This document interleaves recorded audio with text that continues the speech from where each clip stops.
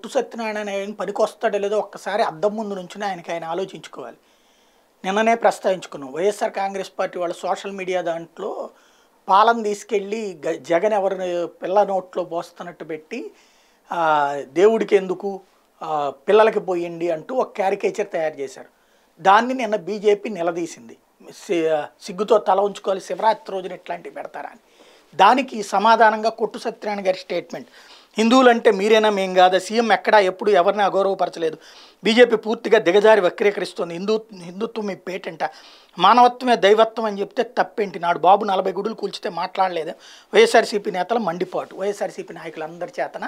నిన్న అరిపించారు లేకపోతే కరిపించారు అనాలి. ఎందుకంటే కుక్కల కంటే హీనం ఇట్లాంటి డైలాగులు మాట్లాడేవాళ్ళు. ఎందుకు ఈ మాట అనాల్సి వస్తుందంటే శివరాత్రి రోజున పండగ రోజున ఈ మాట మాట్లాడేవాడు నాస్తికుడు కూడా మాట్లాడలేదే హేతువాది కూడా మాట్లాడలేదే. ఏం ఒళ్ళు బలిసి కొట్టుకుంటున్నారో? ఒక్కొక్కళ్ళు ఈ మాట మాట్లాడేవాళ్ళు. ఏం వాళ్ళ ఇళ్ళలో ఉన్నటువంటి ఏమన్నా వీళ్ళందరూ మతం మార్చుకున్నటువంటి వాళ్ళ? ఏం క్రిస్టియన్ ముస్లిం కూడా పూజలప్పుడు ఎందుకు చెప్పట్లేదు? బక్రీద్ అప్పుడు జంతువులకు ప్రాణాలు రా కాపాడండి నేను. లేకపోతే కనుక క్రిస్టి క్రిస్మస్ చేసినప్పుడు చెట్లను కాపాడండి అని ఎందుకు పెట్టలేదు క్యారికేచర్లు? ఒక హిందూ దేవుళ్ళు అంటే వీళ్ళకి వెటకారమా ఎవరి మతాన్ని వాళ్ళు పాటించేలా చూసుకోవాలి. ఇంకోటి ఏం జగన్కి సంబంధించి ఫోటోలకి నువ్వు ఫ్లెక్సీలకి తీసుకెళ్ళి పాలు పోయట్లేదా? అప్పుడు తప్పలేదా? అప్పుడేమో రైటేనా? ఇప్పుడు వచ్చేటప్పటికి మేము నిజమైన హిందువులా. ఏం చేస్తున్నారు? గుళ్ళు కొడితే నిజం. ఆ రోజున గొడవ చేసిందే బీజేపీ నిలదీసిందే బీజేపీ. కానీ మాణిక్యాలరావు అనేటువంటి మంత్రి మాత్రం ఏం చేయలేకపోయారు. ఆయన మంత్రిగా ఉండి రాజీనామా అన్న చేయలేదు. అది ఖచ్చితంగా తప్పే.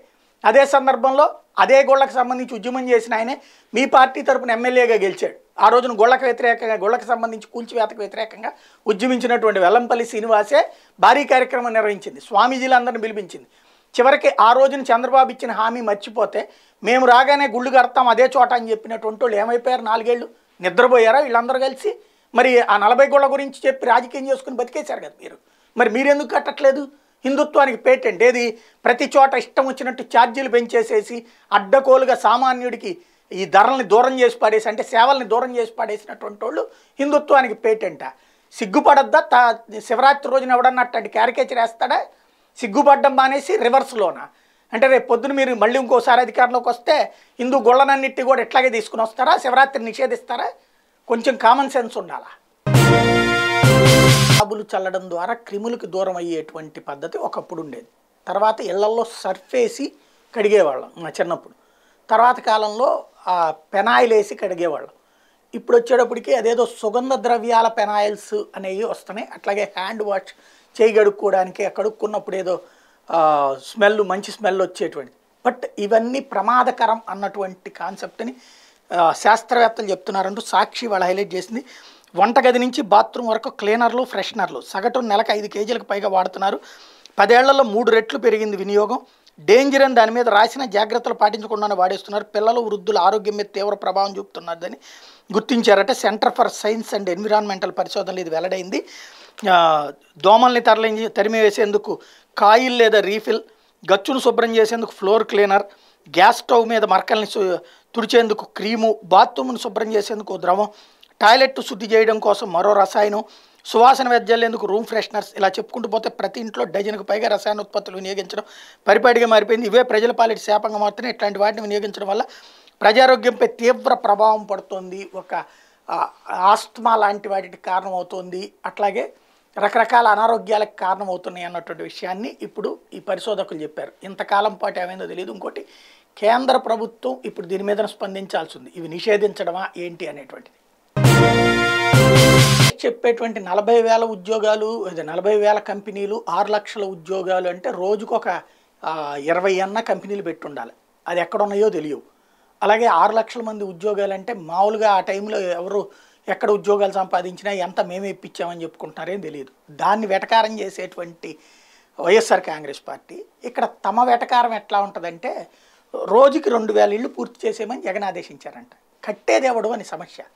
ఇప్పటికి కూడా సమస్యకి పరిష్కారం కాకుండా కట్టుకునే వాళ్ళది మా గొప్ప అని చెప్తున్నారు. స్థలాలు ఇచ్చారు ఖచ్చితంగా అభినందనీయం.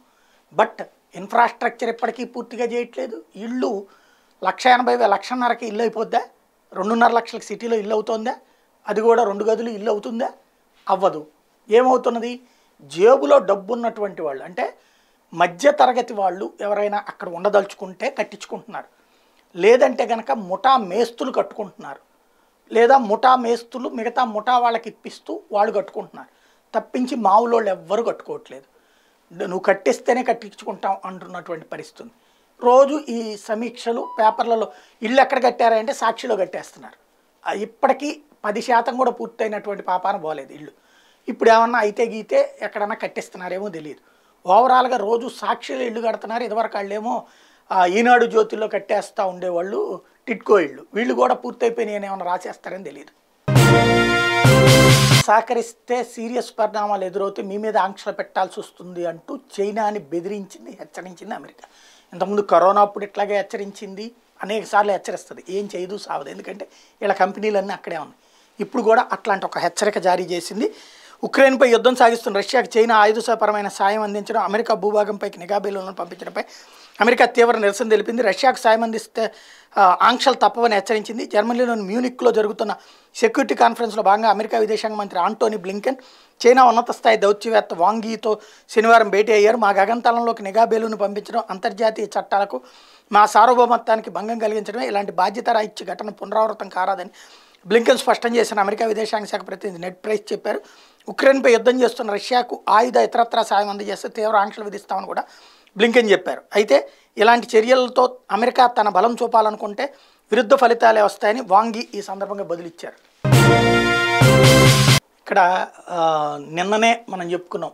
కిమ్ వదిలినటువంటి ఒక బాలిస్టిక్ మిస్సైల్ జపాన్లోని స్పెషల్ ఎకనమిక్ జోన్లో పడింది. ఇది ఒక రకంగా యుద్ధం లాంటిదే.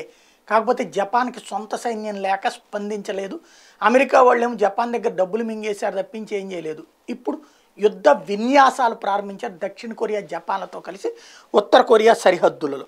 ఉత్తర కొరియా ఖండాంతర బాలిస్టిక్ క్షిపణి ప్రయోగం జరిగిన నేపథ్యంలో ఆదివారం దక్షిణ కొరియా అమెరికా సంయుక్త సైనిక విన్యాసాలు ప్రారంభించి ఆదివారం జరిపిన విన్యాసాలు అమెరికా వ్యూహాత్మక బాంబర్లు పాల్గొన్నాయి. అమెరికా బి వన్ బి బాంబర్లకు దక్షిణ Korea F thirty five A F fifteen A America F sixteen రక్షణగా నిలిచాయి. రెండు మిత్ర దేశాలు ఎలాంటి పరిస్థితిని ఎదుర్కొనేందుకు తమకున్న రక్షణ సంసిద్ధతను ప్రదర్శించాయని దక్షిణ కొరియా ఓ ప్రకటనలో తెలిపింది. జపాన్తో కలిసి అమెరికా సంయుక్త వైమానిక విన్యాసాలు జరుపుతుందని జపాన్ వార్తా సంస్థ తెలిపింది. ఉత్తర కొరియా శనివారం రాజధాని ప్యాంగ్యాంగ్ నుంచి లాంగ్ రేంజ్ క్షిపణి జపాన్ సముద్ర తీరంలోకి ప్రయోగించింది ఈ క్షిపణి గంటలో తొమ్మిది వందల కిలోమీటర్ల అంటే ఐదు వందల అరవై మైళ్ళు ప్రయాణించింది. జపాన్కి చెందిన ఓషిమా దీనికి రెండు వందల కిలోమీటర్ల దూరంలో సముద్ర జలాల్లో క్షిపణి కూలిపోయినట్టు సమాచారం అన్నటువంటిది రాసుకొచ్చారు. నిజంగా అది క్షిపణి కూలాక వీళ్ళు కూడా క్షిపణి ప్రయోగం చేయాలి కదా వీళ్ళ మీదకి. జస్ట్ బాంబర్లతో షో చేస్తున్నారు. దీంతో మళ్ళీ జపాన్ ఎక్కువ పెట్టుకొనుకుంటుంది దక్షిణ కొరియా ఎక్కువ పెట్టుకొనుకుంటుంది. అమెరికా లాభపడుతుంది దానివల్ల. అమెరికా అమ్ముకుంటోంది. ఇక్కడ అసలు విషయం దమ్ముంటే వెళ్ళి ఏకంగా క్షిపణి ప్రయోగం చేసినప్పుడు అటాక్ చేయాలి కదా. దానికి ఏ క్షమాపణ చెప్పలేదు కిమ్. కానీ దాని మీదకి వెళ్ళే జో ధైర్యం చేయదు అమెరికా. ఎందుకంటే వీడి దగ్గర లాంగ్ రేంజ్ ఉన్నాయి. అమెరికాను కూడా ధ్వంసం చేయగలిగేవి ఉన్నాయి.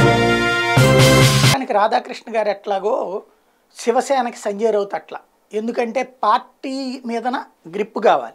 పార్టీని తనే బాగు చేయాలి. తనంతట తన పార్టీ బాగుపడకూడదు. చంద్రబాబునైనా ఇన్ఫ్లుయెన్స్ చేసేస్తారు. చివరికి ఆ తెలుగుదేశానికి ఫేవర్ కోసం తన జర్నలిజం విలువల్ని పక్కన పెట్టేస్తారు. ఫలితంగా తెలుగుదేశం సంకనాకిపోయింది. రెండు వేల పద్నాలుగులో చంద్రబాబు తనకి తానుగా అధికారంలోకి వచ్చాడు. రాధాకృష్ణ గారి వల్ల కాదు. ఆ టైంలో ఎవడూ ధైర్యం చేయలేదు. రెండు వేల పంతొమ్మిదిలో ఆయన గద్దె దిగడానికి మాత్రం కారణాలు రాధాకృష్ణ రామోజీరావు గారు ఇద్దరు కలిసి అతి ప్రచారం చేసి అక్కడ అద్భుతం జరిగిపోయింది ఎక్కడ అద్భుతం జరిగిపోయింది అంటే కళ్ళెదురుగుండా ఏమీ కనపడకుండా ఎక్కడో జరిగిపోయిందని చెప్తే నమ్మేసేటువంటి వెరితనం జనాల్లో పోయింది కాబట్టి ఓడిపోయారు. ఇరవై మూడుకి పరిమితం అయ్యారు ఆ తర్వాత నుంచి అదొక కక్షగా పెట్టుకుని మళ్ళీ మేమే అధికారంలోకి తీసుకొస్తామన్నట్టు తప్పుడు కథనాలు రాసుకొస్తుంటారు. అక్కడ సంజయ్ రౌత్ పరిస్థితి అంతే. ఆయన ఒకప్పుడు జర్నలిస్టు. వాళ్ళకి సంబంధించిన శివసేనకు సంబంధించిన సామ్నా పత్రిక ఒకప్పుడు బాబాసాహెబ్ థాకరే గారు బాలాసాహెబ్ థాకరే గారు రాస్తేవాడు ఎడిటోరియల్. ఆ ప్లేస్లో ఉద్దో దాకరే దమ్ముంటే రాయాలి. కానీ ఈ యదవని తీసుకొచ్చి పెట్టారు. ఈయన శివసేన చంకనాకిచ్చి వాళ్ళ ఆవిడికి అంతవరకు ఏది రాజకీయం వద్దనుకున్నటువంటి కుటుంబానికి అంటే రాజకీయాన్ని మనం శాసించాలి కానీ రాజకీయాల్లో మనం ప- పదవులు తీసుకోకూడదు అన్నటువంటి దాకరే పద్ధతిని పక్కన పెట్టించి వాళ్ళ అబ్బాయికి ఉద్దవ్ దాకరే కొడుక్కి ముఖ్యమంత్రిని చేయాలన్నటువంటి తపనని వాళ్ళ ఆవిడికి కల్పించి తద్వారా తీసుకెళ్ళి ఎన్సీపీకి తాకట్టు పెట్టించాడు ఇప్పుడు ఆయన ఒక స్టేట్మెంట్ ఇస్తాడు. ఈసీ రెండు వేల కోట్ల రూపాయలు తీసుకుని పార్టీని ఇచ్చేసిందని. ఇది ఏది శివసేన వాళ్ళకి ఇచ్చేసింది అన్నట్టు. ఈయన వెళ్ళి అక్కడ బాత్రూంలో కూర్చొని చూసి వచ్చినట్టు. కనీసం ఇవాళకి కూడా టూ థర్డ్ ఎమ్మెల్యేలు ఎంపీలు అక్కడే ఉన్నారు. వాళ్ళు అటు ఉన్నప్పుడు నీకు చేతనైతే తెచ్చుకుని ఇదిగో మా వైపు టూ థర్డ్ ఉన్నారు లేకపోతే మా వైపు సగం ఉన్నారు అట్లాంటప్పుడు పార్టీ వాళ్ళకి ఎట్లా ఇస్తారని అడగాలి. ఓపెన్గా వాళ్ళందరూ అటు కూర్చుంటే చేతకాని దద్దమ్మ ఇలాంటి దాంతో పక్క దోవ పట్టించడం. వార్తలు వాళ్ళు అక్కడ ఇక్కడట్ట వక్రీకరిస్తారు అక్కడ అట్లాగే వక్రీకరిస్తుంటారు అనమాట సినిమాలు ప్రతి దాంట్లో కూడా హీరోలు బీహార్లో ఉన్నటువంటి పెద్ద గ్యాంగ్ లీడర్ని చంపేయడము లేకపోతే వాడి గ్యాంగ్ ఇక్కడికి వస్తే చంపేయడము ఇట్లాంటి సినిమాలు తీసేవాళ్ళు. ఎందుకంటే బీహార్ అంటే ఒక ఆటవిక రాజ్యం అన్నటువంటిది. సినిమాలు తెలుగు సినిమాల దగ్గర నుంచి హిందీ సినిమాల దాకా అన్నిట్లో ప్రొజెక్ట్ అయింది. దాన్ని మార్చుకుంటూ వచ్చినట్టు నితీష్ కుమార్ తీసుకెళ్ళి మళ్ళీ ఇప్పుడు వాళ్ళ చేతికి అప్పజెప్పేస్తే రోజు జరుగుతున్న అరాచకాల్లో మరొక సంఘటనలు ఇప్పుడు జరిగింది. బీహార్ రాజధాని పాట్నాలోని జదులీ గ్రామంలో పార్కింగ్ లాట్ విషయం ఆదివారం జరిగిన గొడవ కాల్పులకు దారితీసింది పార్కింగ్ స్థలం విషయంలో రెండు గ్రూపుల మధ్య వివాదం తలెత్తింది. ఈ సందర్భంగా జరిగిన కాల్పులో ఇద్దరు చనిపోగా ఐదుగురు గాయపడ్డారు. ఓ వర్గానికి చెందిన వాళ్ళు కొన్ని భవనాలు వాహనాలకు నిప్పు పెట్టారు. ఇందుకు సంబంధించి పోలీసులు ప్రధాన నిందితుడు మరో ఆరుగురిని అదుపులోకి తీసుకున్నారు. ఇది ఇప్పుడు అక్కడ జరుగుతున్న అరాచకం. లో గెలవలేమని చెప్పి పంతొమ్మిది వందల డెబ్బై ఒకటిలో బంగ్లాదేశ్ వార్ తర్వాత గ్రహించినటువంటి పాకిస్తాన్ మళ్ళీ చివరి ప్రయోగం చేసింది కార్గిల్లో. అక్కడ కూడా ఓటమి పాలయ్యాక ఎప్పుడు భారత్ చేతిలో ఓడిపోయే దేశం కిందన తనని తాను తట్టుకోలేక అక్కడున్న పాలకులే మత్తు మందులకు అలవాటు పడ్డారు. లేకపోతే కనుక ఈ తీవ్రవాదాన్ని పెంచి పోషించడం ద్వారా పరోక్ష యుద్ధం చేసి భారత్ని గెలవాలనుకుంటున్నారు.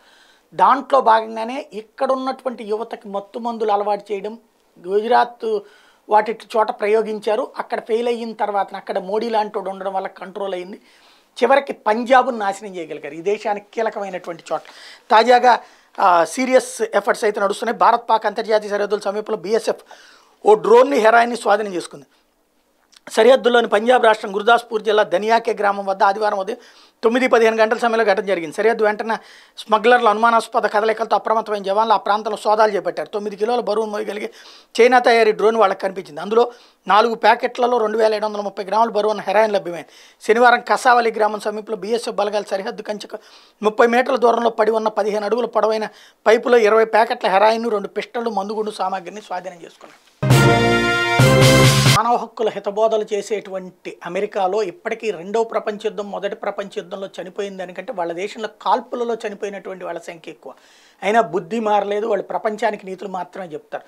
రోజుకు ఒకసారి మనం కాల్పుల ఉదంతాలు చదువుకోవాల్సి వస్తుంది. ఇప్పుడు లేటెస్ట్గా చూస్తే ముగ్గురు బాలికలు చనిపోయారు. అమెరికాలోని హోస్టన్ శివార్లను ఇంట్లో ఆదివారం జరిగిన కాల్పుల ఘటనలో పదమూడు పద్నాలుగు పంతొమ్మిది వయసు ఉన్న ముగ్గురు బాలికలు చనిపోయారు. పన్నెండేళ్ళ బాలికపై లైంగిక దాడి జరిపిన దుండగుడు పారిపోయేందుకు అవకాశం ఇవ్వగా ఆమె ఇంట్లో ఉన్న ఏడాది చిన్నారి సహా అక్కడి నుంచి సురక్షితంగా బయటపడినట్టు పోలీసులు వెల్లడించారు. స్వల్ప గాయాలతో వీళ్ళిద్దరూ ఆసుపత్రిలో చికిత్స పొందుతున్నారు. అనంతరం నిండు సాయుధుడు తనను తాను కాల్చుకుని చచ్చిపోయాడు. అసలు వీళ్ళు ఎలాంటి దుర్మార్గులు తయారవుతున్నారు అక్కడ? అమెరికాకి అసలు చేతనవుతుందా చేత కాదా? లేకపోతే జనాలందరూ ఒకళ్ళనొకళ్ళు చంపేసుకుంటే ఏమన్నా ఆ శ్మశానంలో ఏలాలనుకుంటున్నారు? అర్థం కాదు